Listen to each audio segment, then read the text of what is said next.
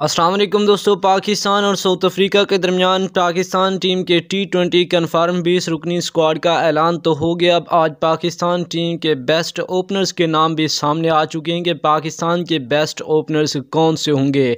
Pakistan team की तीन जोड़ियों के नाम सामने आ चुके हैं। पाकिस्तान टीम के ओपनर्स के लिए उनके नाम मेंशन कर दिए गए हैं। कौन से खिलाड़ी जो कि बेस्ट ओपनर साबित हो सकते हैं?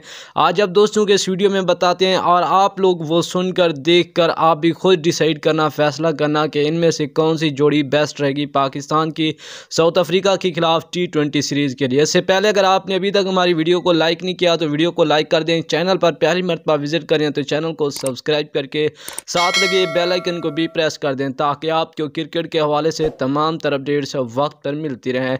तो चलिए दोस्तों स्टार्ट करते हैं पाकिस्तान टीम के ओपनिंग जोड़ी के बारे में आपको बताते हैं इस वीडियो में। दोस्तों, पाकिस्तान टीम की हाल ही में यानी कि पाकिस्तान पाकिस्तान टीम के माजी की जानब या हाल की जानब देखा जाए तो माजी में पाकिस्तान के न्यूजीलैंड के खिलाफ भी ओपनिंग जोड़ी की वजह से पाकिस्तान टीम हारता रहा पाकिस्तान टीम को अपनी ओपनिंग जोड़ी हर हाल में ही स्ट्रॉन्ग करना पड़ेगी। अगर पाकिस्तान टीम की ओपनिंग जोड़ी स्ट्रॉन्ग नहीं होगी तो कभी भी पाकिस्तान नहीं जीत पाएगा और अच्छी पार्टनरशिप नहीं बना पाएँगे। दोस्तों, अगर बात करें न्यूजीलैंड में तो पाकिस्तान टीम के टेस्ट और टी में यही हाल था।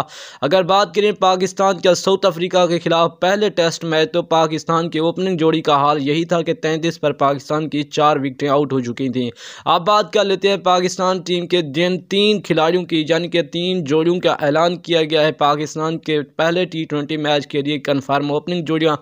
इनमें से कौन सी ओपनिंग जोड़ी मैदान में उतरनी चाहिए, आप लोग ने नीचे कॉमेंट करके ज़रूर बताना। तो चलिए दोस्तों स्टार्ट करते हैं। दोस्तों, सबसे पहले पाकिस्तान के पहले टी मैच के लिए पहली ओपनिंग जोड़ी के बारे में आपको बताते चलें। पहली जोड़ी जो मेंशन की गई बाबर आज़म और हैदर अली के नाम सामने आ चुके हैं। दूसरी जो जोड़ी होगी हैदर अली और आसिफ अली के दरमियान और तीसरी जो जोड़ी होगी आसिफ अली या दानिश अज़ीज़। तो दोस्तों, आप लोग ने नीचे कमेंट करके ज़रूर बताना, इन तीनों जोड़ियों में से बेस्ट ओपनिंग जोड़ी कौन सी साबित हो सकती है साउथ अफ्रीका के खिलाफ अपने होम ग्राउंड यानी होम सीरीज़ में टी ट्वेंटी के लिए। तो दोस्तों नेक्स्ट वीडियो तक हमें दीजिएगा इजाज़त, अल्लाह ने के